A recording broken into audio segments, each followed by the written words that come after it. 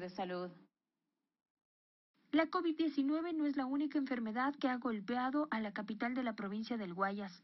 Se suma un brote de dengue, patología endémica en la región, que es transmitida por la picadora del mosquito Aedes aegypti. Los síntomas que presentan los enfermos son similares a la gripe, es decir, fiebre de 40 grados, dolores de cabeza intensos, musculares y articulares, salpullido, náuseas y vómitos. En lo que cursa de 2020, solo en esta ciudad se han contabilizado 1.661 pacientes diagnosticados con dengue. Le sigue la provincia de Los Ríos con 1.047 casos.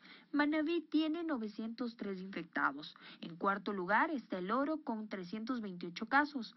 Esmeraldas, 316 infectados. Santo Domingo de los Áchilas, 309. Napo, 235. Orellana, 228. Pichincha, 90. Sucumbió, 77. Pastaza, 53 casos, y en 11 provincias más se contabilizan entre 2 y 22 casos, lo que da un total de 5.356 casos en 22 provincias del país, con una tasa de incidencia nacional de 31 por 100.000 habitantes.